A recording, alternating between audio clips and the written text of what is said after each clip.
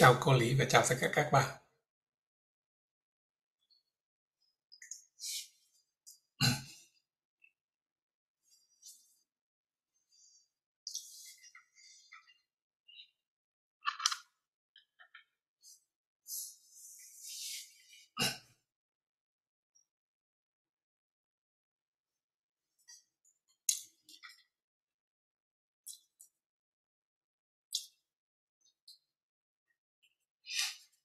Như hồi nãy chú nói đó, ừ, trong mấy phút uh, thiền trước khi mình vào buổi vấn đáp này.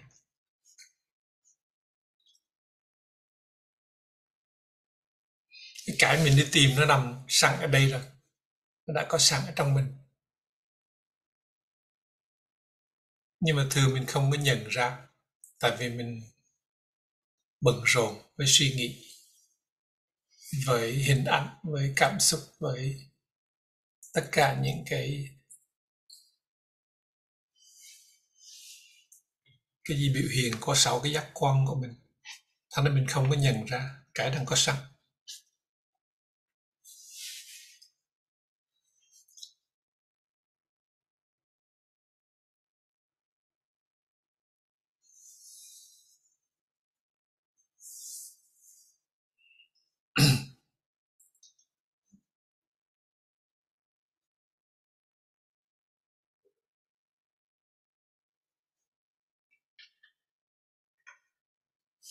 cho nên mình phải lặng yên thì mình mới có thể nhận ra được cái đang có sẵn đó.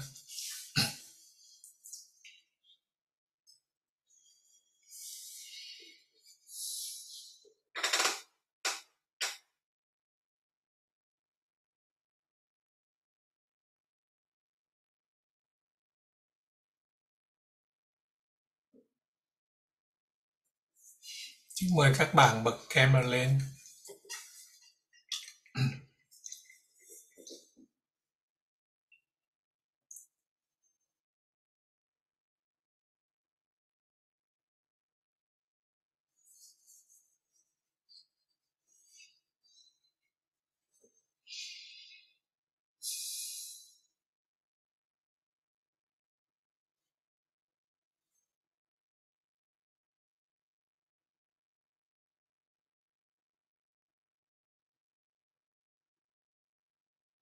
Mình không có nhận ra được cái đang có sẵn là vì tâm trí luôn.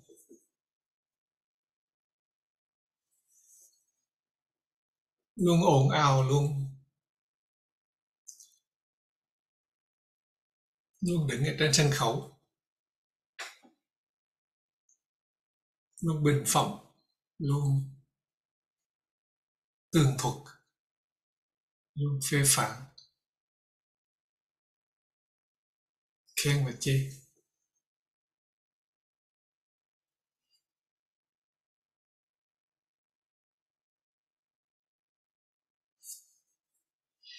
thành ra mình ý thức lúc mà tâm trí nó đang đang đang đóng tù, đang nói, đang nghĩ, đang phê bình.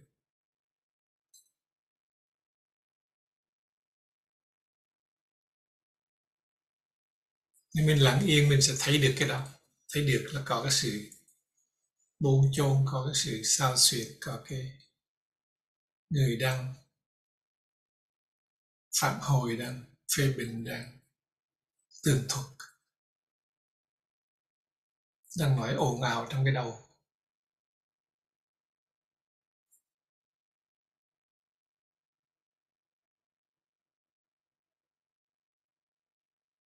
Mình nhận ra được là nó có cái tiếng nói đó.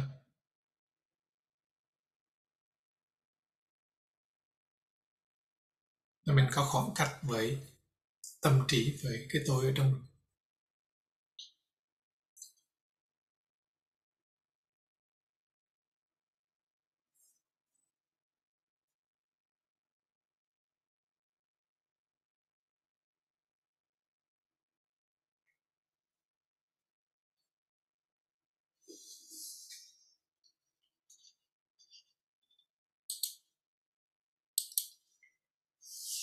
Các bạn hỏi chủ.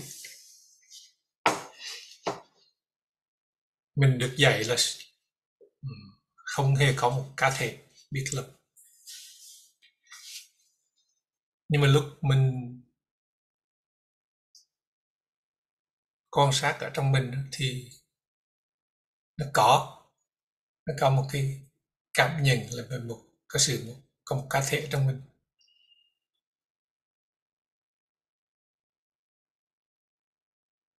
Sự thật. Ừ, chân lý, cái điều mình được dạy đó, nó không hề có một cá thể. Không có chủ thể, không có chủ nhân, không có tác giả, không có thọ giả. Đó là cái cái lời dạy. Cái ờ, sự thật. Nhưng mà trong thực hành, mình thấy nó có một cá thể mình cảm nhận nó có một cá thể. Mình cảm thấy nó có một cá thể.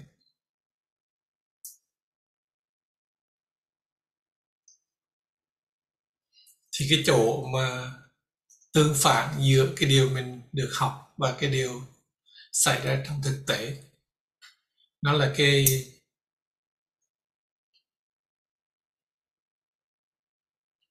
cái chỗ mình cần chú tâm, có mặt. Đi sâu vào bằng sự chú tâm của mình, chứ không phải mình tìm tòi, mình lục lọi, mình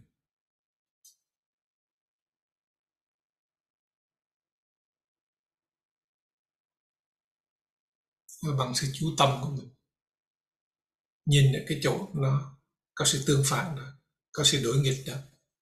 Mình học là như vậy nhưng mà mình lại tin cái điều ngược lại.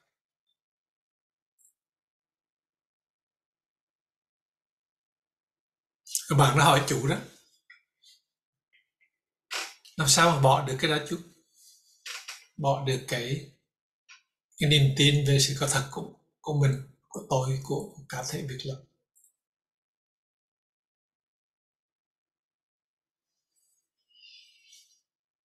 thì câu hỏi đó đó chủ nghĩ là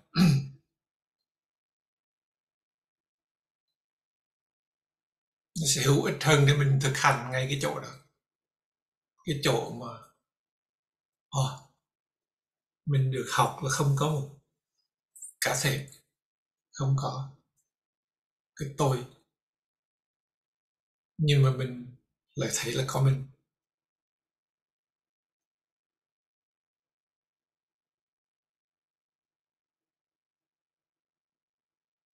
Thì cái thói quen của cái tin là mình có thật, nó rất là mạnh, rất là sâu dày ở trong mình.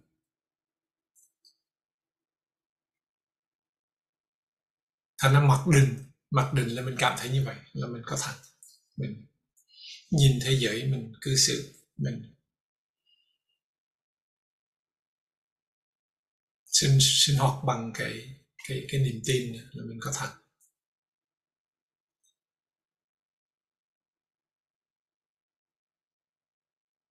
Thì câu hỏi, làm sao bỏ bỏ cái tôi đó?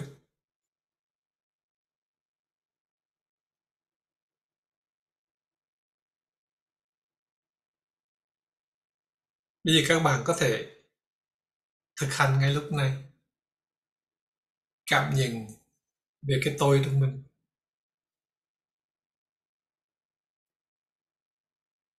Và cái câu hỏi làm sao để bỏ cái niềm tin sai lạc này?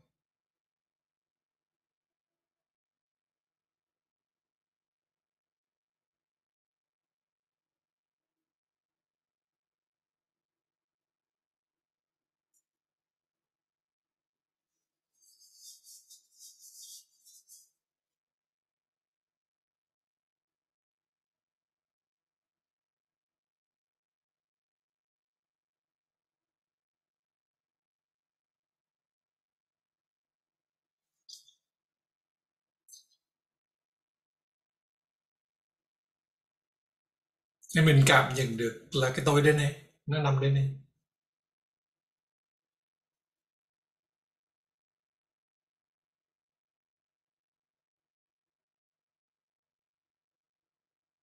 mình đang nhìn, đang cảm nhận được cái cái tôi ở đây.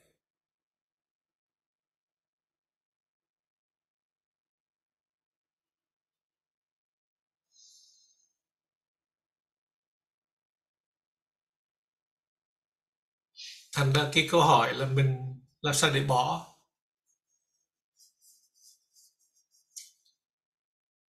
Chú nghĩa câu hỏi hay hơn đó là mình có muốn bỏ hay không?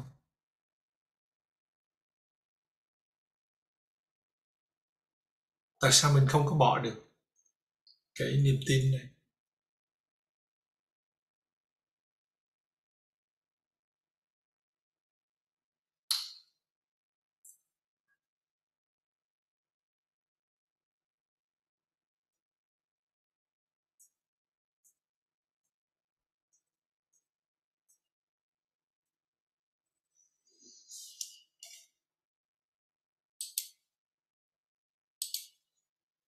Mình không bỏ được là vì nó có nhiều lý do lắm. Mà chỉ có mình biết thôi. Không ai biết. Mình biết tại sao mình không có bỏ.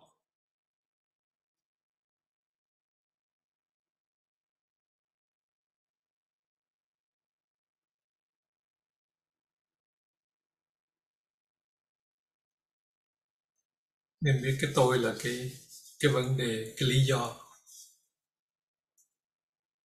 nguyên nhân làm cho mình khổ.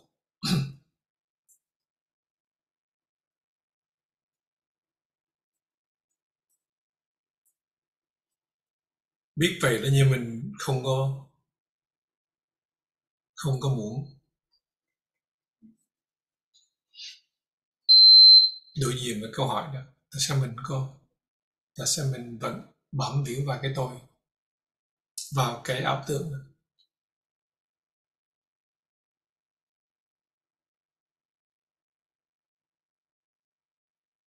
đó là bài tập. Chú nghĩ đa số các bạn ở đây đều cảm được.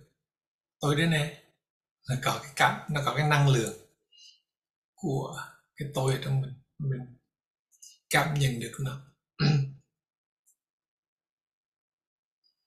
và mình muốn đi tới được tâm linh, mình muốn cái tôi là tiếp tục, và mình muốn có những thành đạt trong đời, trong cái đời sống tâm linh.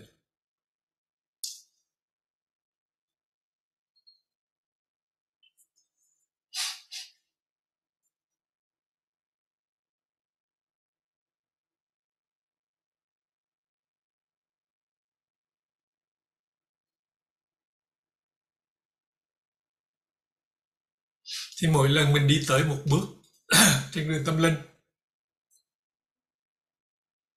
tức là mình đã tháo được một cái mắc xích của cái tôi ở trong mình.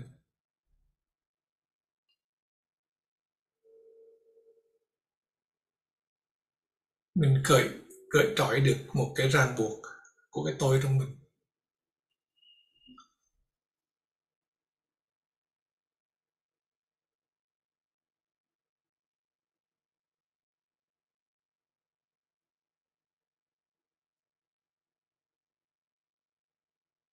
Cái tôi thì nó vẫn luôn luôn muốn được sống con, được tiếp diễn được tiếp tục.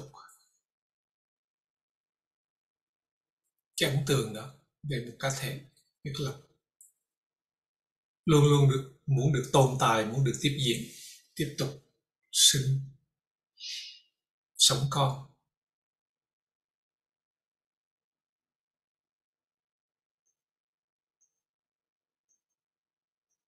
Và mình có cái đầu tư của mình vào cái sự tiếp diễn đó của cái tôi.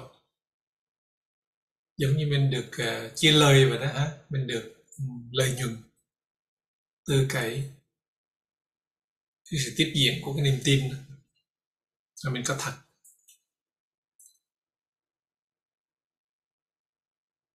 Thì mình phải nhìn ra được những cái mà mình thích về cái có một cá thể.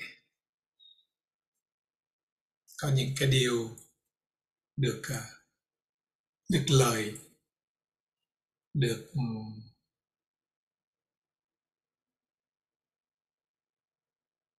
bồi đắp.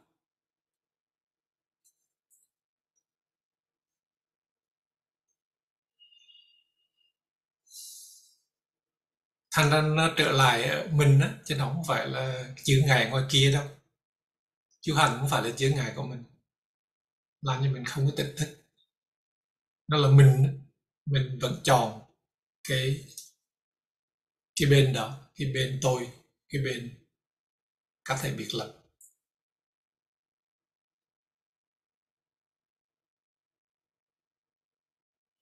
Vì trong cái niềm tin này nó có nhiều cái hệ niềm tin, một cái loạt những cái suy nghĩ, những cái định nghĩa, những cái xác tín có dính đến cái cái niềm tin tôi có thật.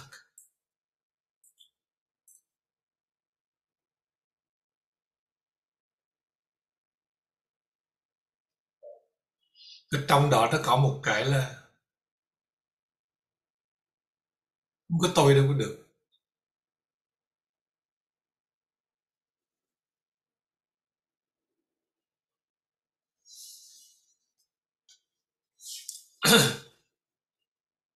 không có tôi là không có không có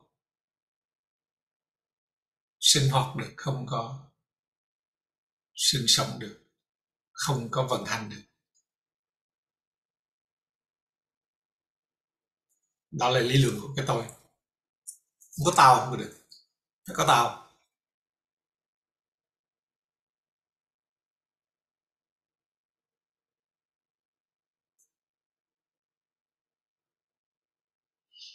Thì tâm trí nó luôn luôn nói như vậy, phải có tao. Mày cần tao. Bạn cần tôi.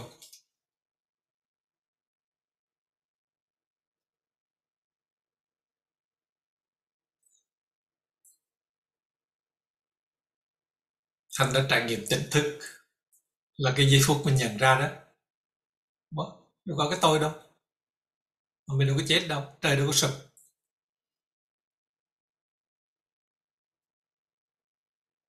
Thế giới vẫn còn đây hiện tại cái tỉnh thức là một cái, cái ác mộng của cái tôi trong mình.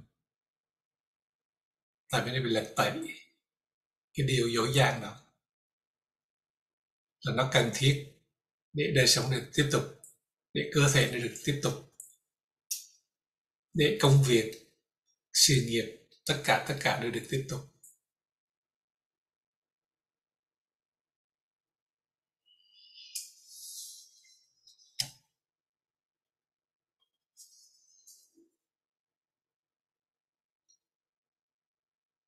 Thành ra phải nhìn cho rõ những cái lợi nhuận, những cái ưu thế, những cái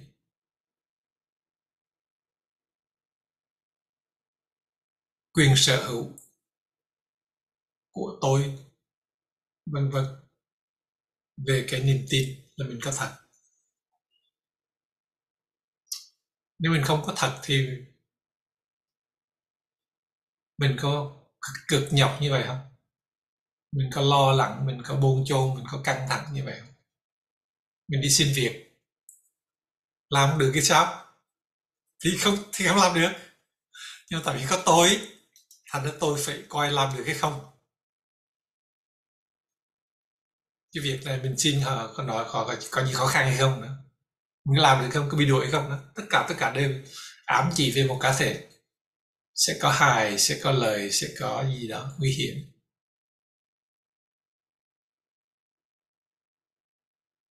Con nó hư thì nó hư.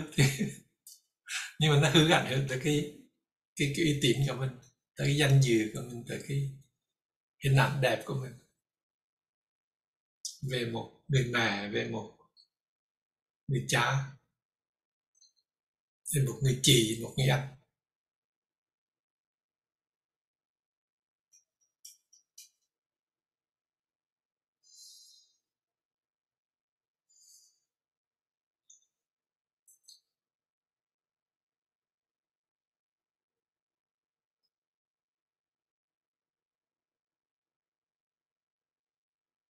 Câu hỏi đặt ra là hay đó.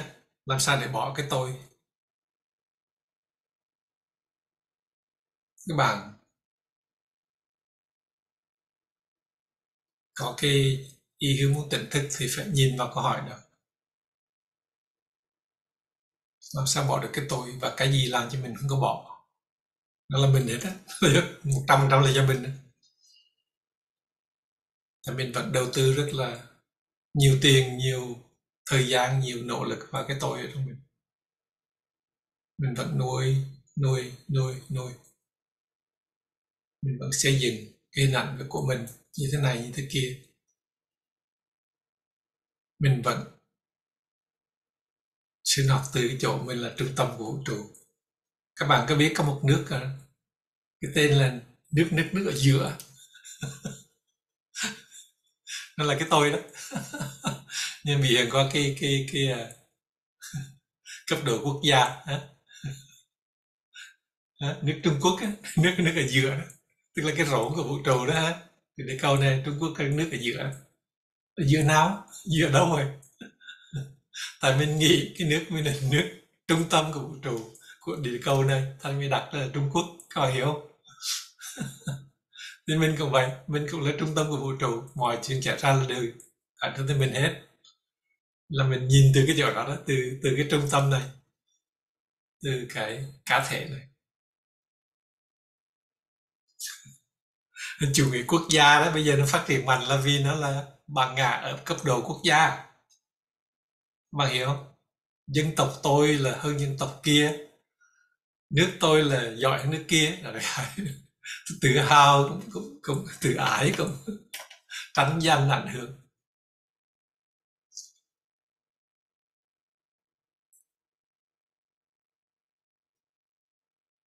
chính cái cái niềm tin đó mà bây giờ nó biểu hiện qua cái mức độ quốc gia đó sẽ làm cho mang lại nhiều cái hậu quả ghê gớm.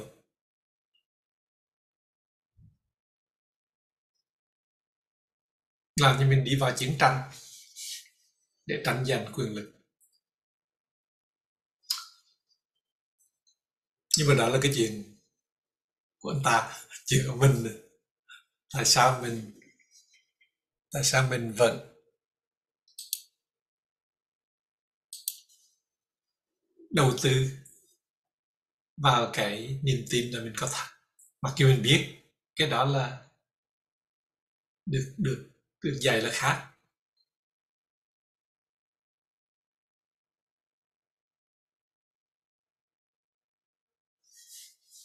Chú mời cái bạn đặt câu hỏi đó thì chú muốn đặt danh nha để để bạn nó muốn lên tiếng. Chia sẻ cái gì về cái câu hỏi của chủ đó? Cái gì làm cho mình không có không muốn bỏ? Chứ không phải là bỏ không được. Cái gì làm cho mình không muốn bỏ?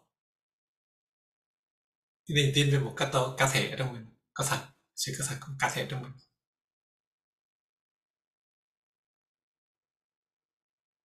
Có lý do, nó có cái quyền lợi, nó có cái lợi ích.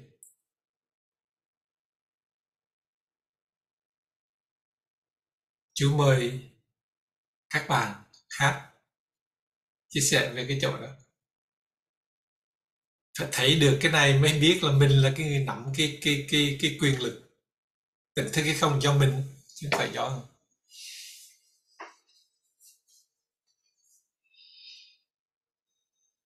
không phải do ai đâu. Không phải do đó ờ, đức phật hay là thượng đế là ghét bỏ mình gì đâu.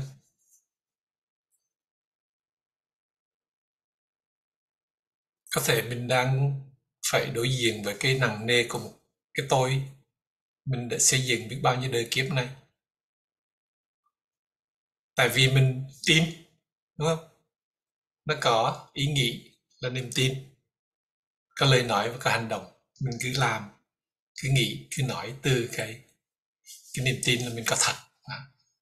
thì mình bồi đắp cho cái niềm tin ở trong mình, làm cho nó rất là mạnh, là mình rất là khổ, rất là sợ, rất là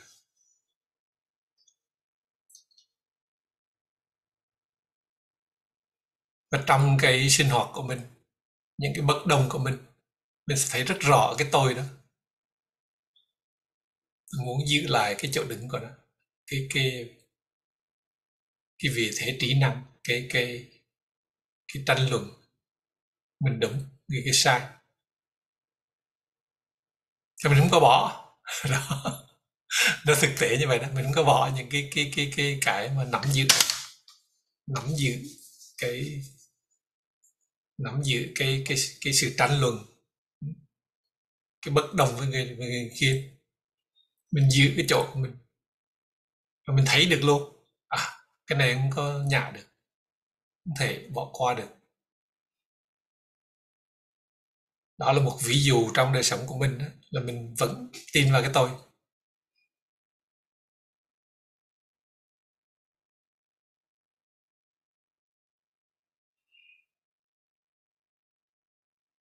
Và nếu mình nhận ra được cái đó, mình sẽ thấy đó, muốn bỏ cái cái quan điểm rất là khó.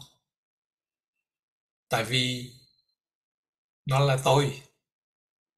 Là mình có thật nó niềm tin mình có thật. Nó là tôi. Sao tôi bỏ được? Tôi phải đúng. Tôi là luôn luôn phải đúng. Có thể mình dùng nhiều lý luận vi tế để mình chứng tỏ là mình mình có tôi. Nhưng mà mình đang giữ nó vẫn là tôi đúng.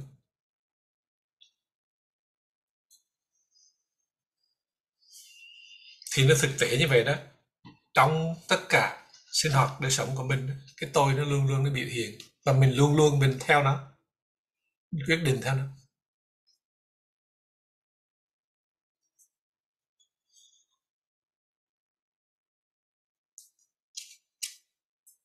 Cái lúc mà mình thấy được cái cái chỗ kẹt đó đó, mà mình nhả ra, mình không có chấp vào cái đâu, cái cái đó là tôi đó. Thì nó không có dễ, nhưng mà làm được thì sẽ thấy là ồ mình tưởng làm về là trời sụp cái gì đó. Mà trời đâu sập đó mà mọi thứ nó có vẻ hài hòa, có vẻ thuận lợi hơn cho tất cả, chứ không phải riêng mình, cho tất cả cả hai bên.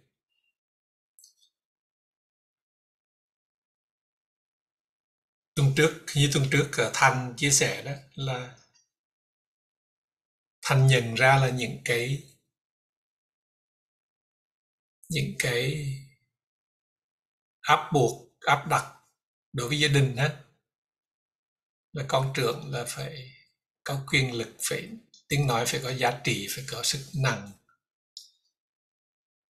Thành lúc luôn mình vĩ người ta vào một cái góc không có thoát được, họ phải nhận là mình đúng.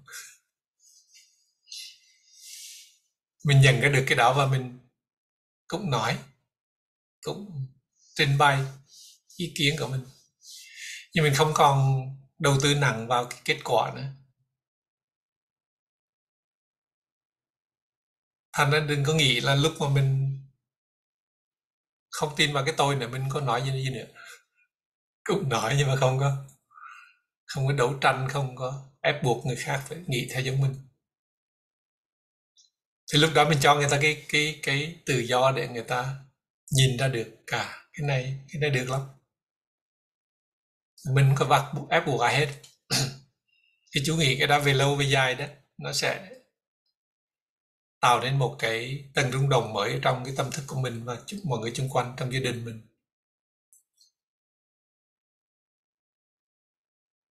Cái điều mà đúng đắn là ai cũng biết. Cái gì nên làm cái gì không nên làm ai cũng biết. Mình không làm được là vì cái tội. Nó không cho mình làm.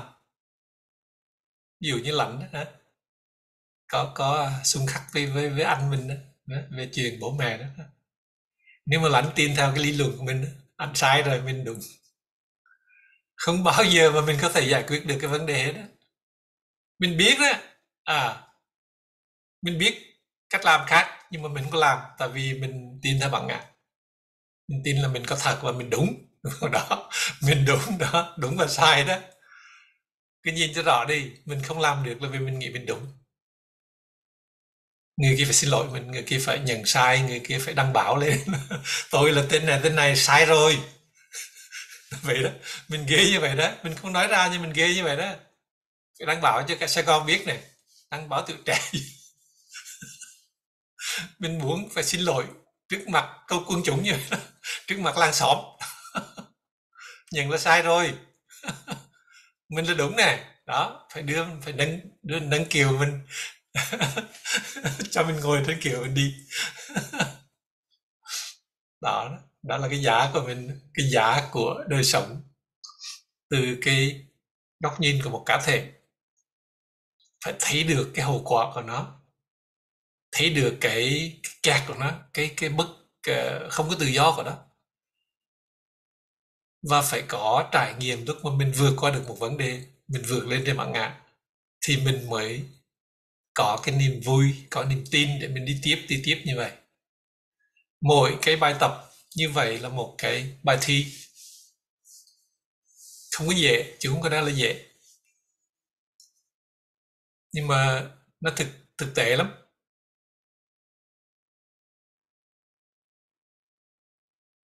Nếu mình lên núi mình tu đó, thì cho mình có thể ảo tưởng là mình chắc cầu rồi trên lúc mình về mình sống với gia đình mình đó là mình biết được là nó ngồi thật hay không. Tại lên núi ở mình đâu ai nói gì đâu. Phải sống, phải cò sát với gia đình, phải nói qua nói lại, phải có chuyện này chuyện kia. Thì mới biết là mình giỏi chưa?